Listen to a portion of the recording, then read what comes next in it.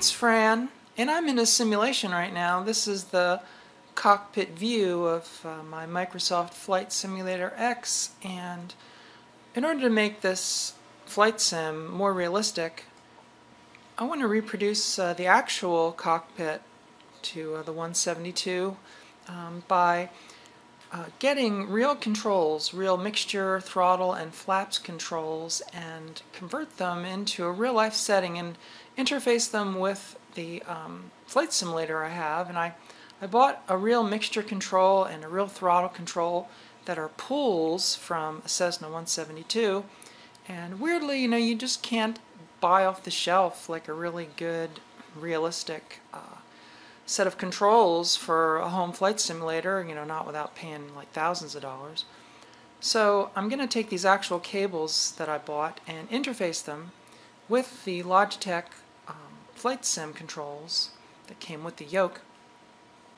So I made up a, a template, actual size, using uh, reference drawings from Cessna 172, and I scaled them up so that um, when I mounted the template up under the table, that um, by careful measurements, uh, using photos and such, that the yoke and all the other controls, the throttle, the mixture control, and the flaps, they would all be in exactly the right position and also the right level off the floor and such, so that when I just reach out into space, I'll be able to grab those controls and they're going to be exactly where they are in the actual plane.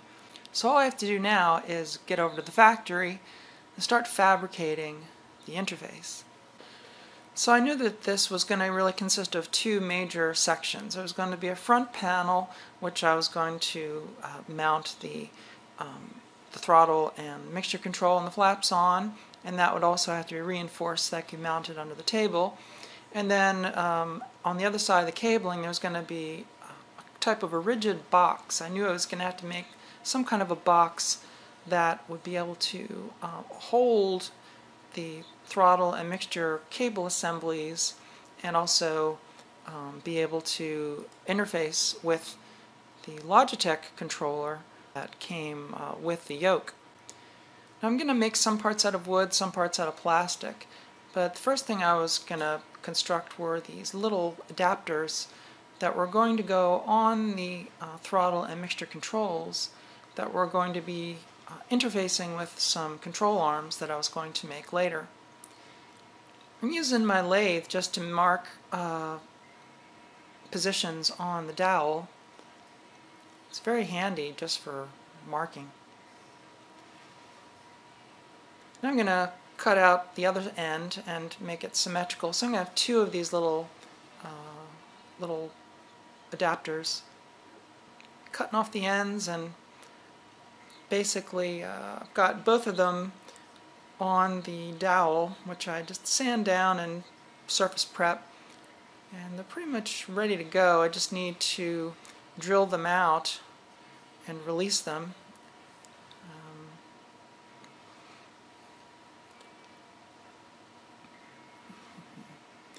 So one drilled hole, it's going to be very tight with a number 6 screw. Um, use my sander to shape them Pretty standard stuff, really. Now I just have to release them. One and then two. And now after some sanding, one thing left to do, and that's to um, create a hole centered, which I'm going to do again with my lathe. And uh, do this on both of the parts. Um, lathe is a very handy tool for, you know, drilling a hole on center. in a dowel. Yep. And I did that times two.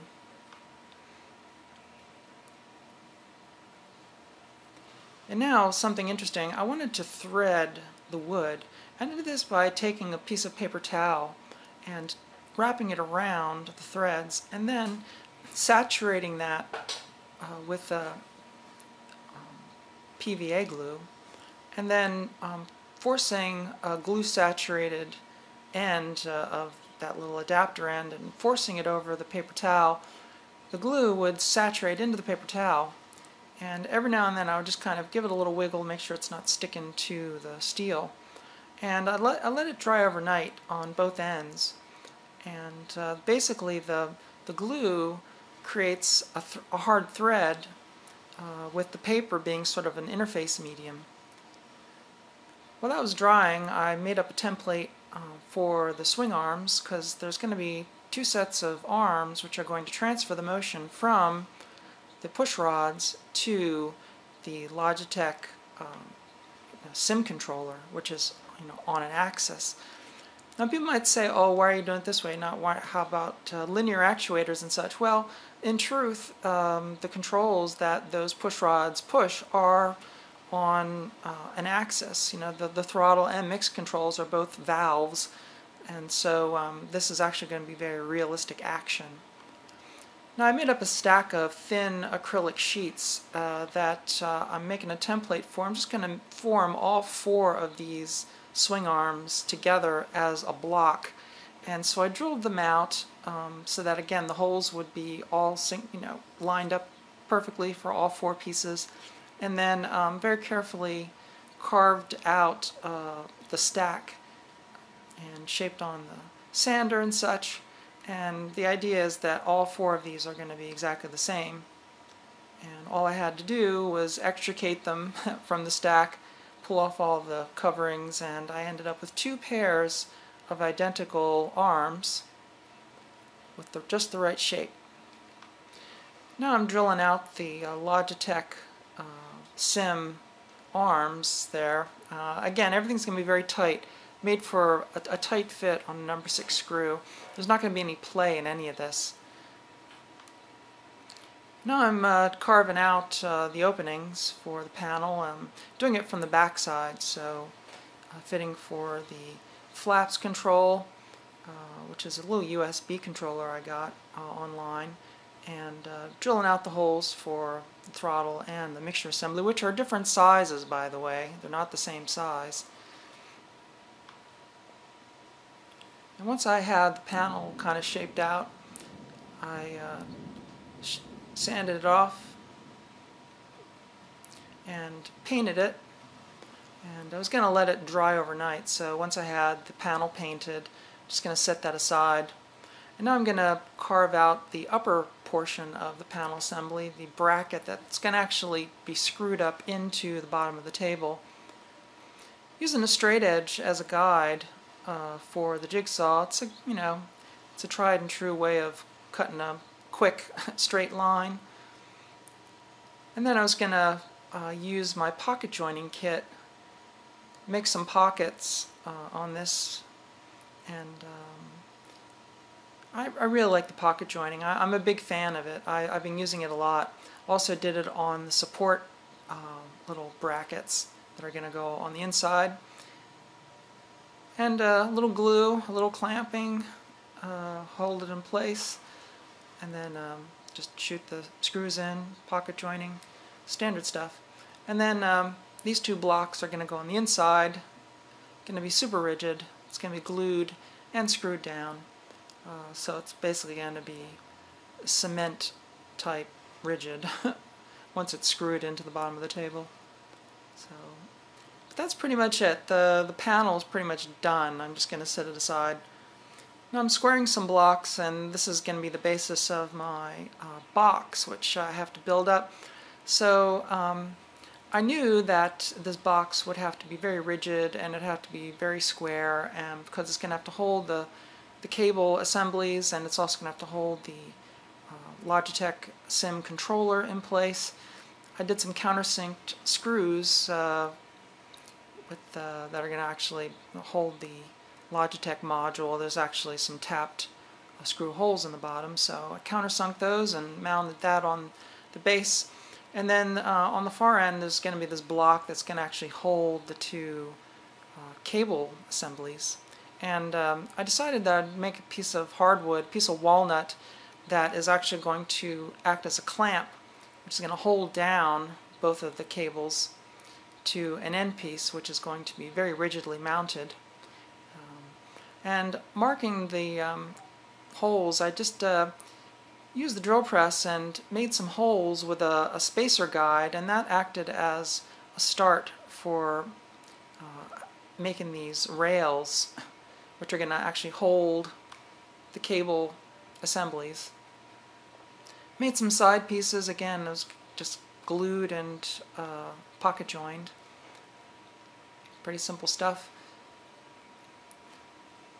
I'm going to have one side of the box closed and one side of the box open and this last piece is a foot because I knew that the cables are very rigid and when actually mounted in the table it's actually going to stand on this foot so it's actually going to be mounted sort of vertically and the cables will make like a, a very easy uh, 90 degree turn.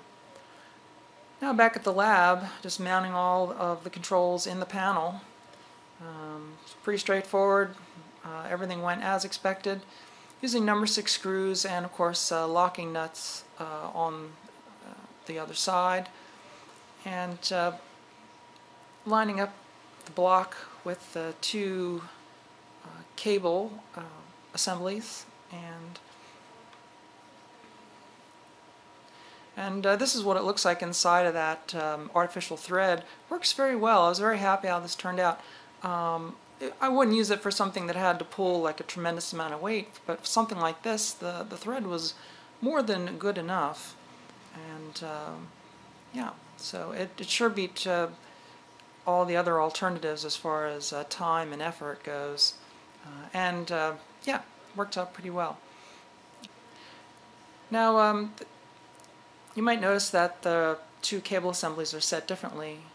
Um, one's further back than the other. Well, the, the throws are slightly different between the throttle and the mixture assembly, so I've taken into consideration and made some um, you know, changes to uh, the alignment, and uh, it's all going to work out because once I get it assembled, I'm going to recalibrate everything so that uh, the uh, flight simulator will be set up so that whatever the throw range is that I end up with will be the full scale uh, once the uh, control is recalibrated. So I go one in, I just got to do two. So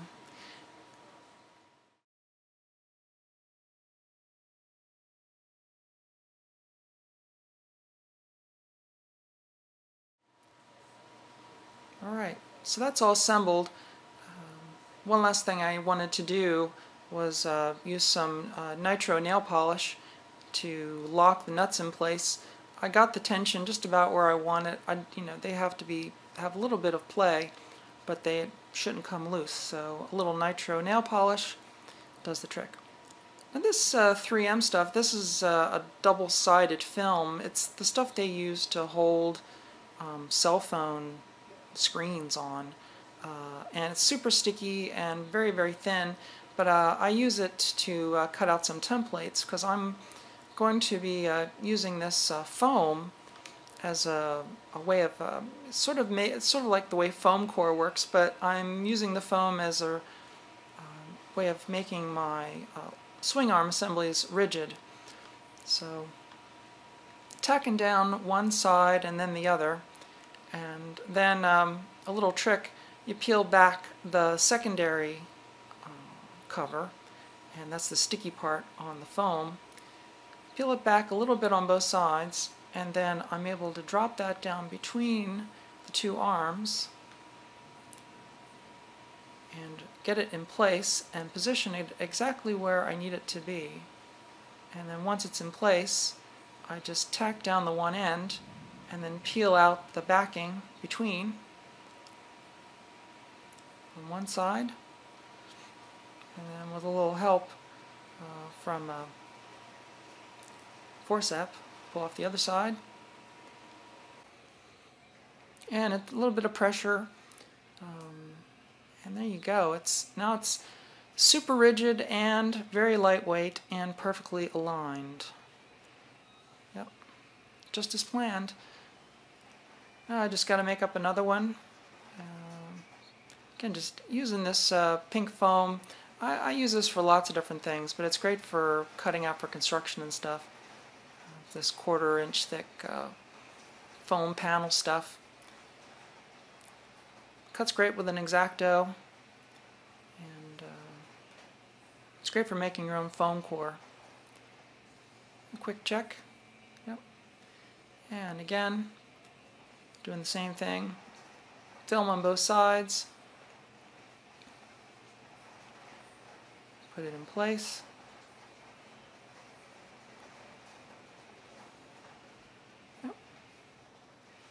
This is a pretty good method for construction, model building and such. You can really use this kind of method for just about anything. There you go. All done. So now uh, I put the panel in, I got it clamped temporarily. It'll be screwed in place after the move, but you know, I'm moving the shop, so I'm not going to screw it in place just yet. But uh, it looks good.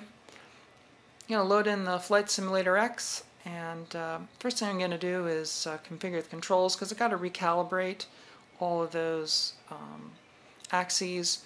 And uh, so uh, I reset all the axes for the Logitech controller, for the throttle, and for the um, mixture control, and also reprogrammed it for the new flaps control. A few bugs I had to iron out. Actually took a little bit of going back and forth to eliminate some conflicts and such, but I got it configured and ready to test fly. Okay, so here we go. Mixture control, pull that out, shouldn't kill it, okay. But I can pull out about an inch, fine tune, you can see the fine tune working there. Uh, works, okay. Fine tune, throttle in, throttle out, let idle out, see it shouldn't stall. Into a thousand, get up to a thousand. If I had the switches on the left, I could do the run up and everything, so, okay. Flap. One notch of flaps. Two. Three notch of flaps. Flap up. Up. Up, okay. That's working. It's a little sticky there. Uh, alright, so, alright, so let's try this. Parking brakes off. Mixture full. Full throttle little right rudder, touch a right rudder to the touch, touch a right rudder, a little more rudder.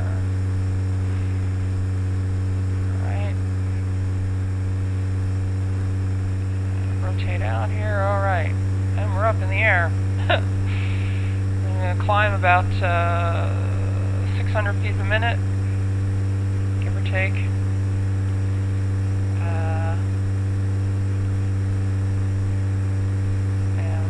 Apply the pattern. Stand on the 330 until I get to about 600 feet. And I'll do my first turn. Just want to climb out here. Gain altitude.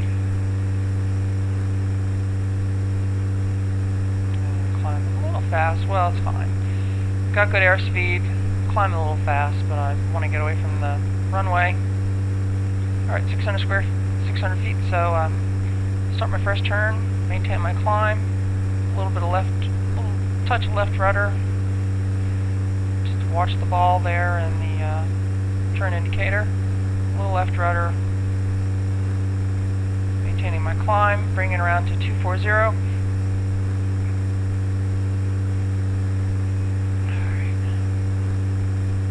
Watching my climb, 240. 1,000 feet. And at this uh, airport, runway is about 120 feet above sea level, so about uh, 1,400 feet. I'm probably top off around 1,400. Uh, we're in the uh, crosswind leg here, 240.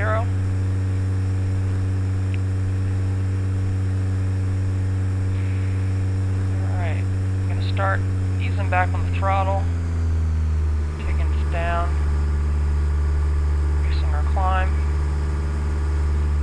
Alright, I'm going to turn for our downwind leg, a little bit of left rudder to the touch, and come around to the 150. Watching my altitude, watching my climb.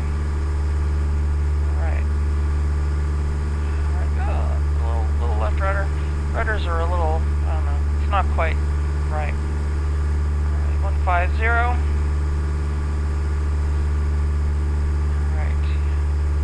There's the airport. Alright. Might be a little jarring with the views, but I'm toggling that with my thumb. So, uh, alright. Alright, I'm descending a little too much. Get the nose up.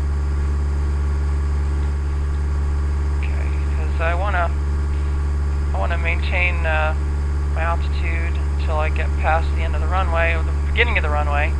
I get past the runway marker, I can begin my descent. See, I should have set trim, but this is such, such a short thing. Okay, so 150. So now I can, I'm going to put um, notch flaps. Alright, and that's going to bring my nose up, so now I don't have to worry about the trim. Now I'm going to start descent, so I'm going to pull out my throttle a bit. Pull out throttle.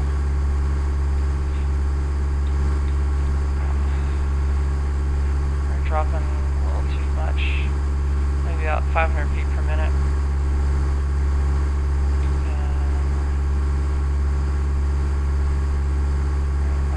descent, about throttle. I want to slow down because I want to, want to start bringing in some flaps here.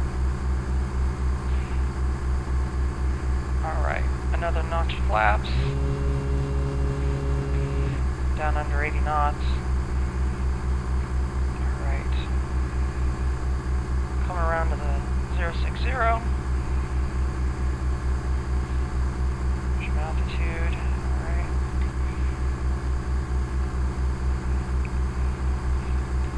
Alright. My airspeed, I'm um, altitude's a little high, need to be descending.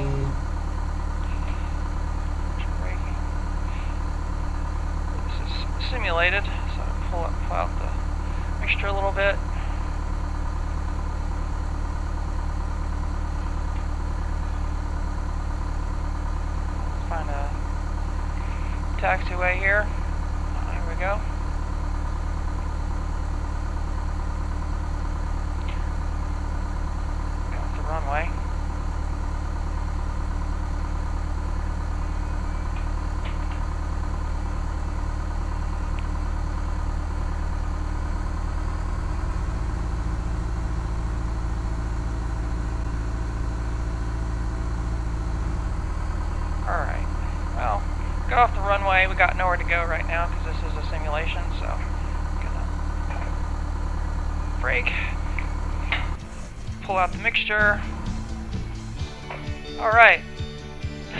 a bad landing. Well, this is what the simulator's for, you know.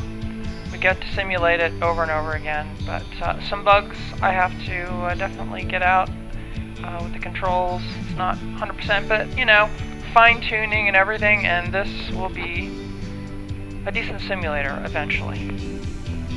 Okay, that's it. Until next time.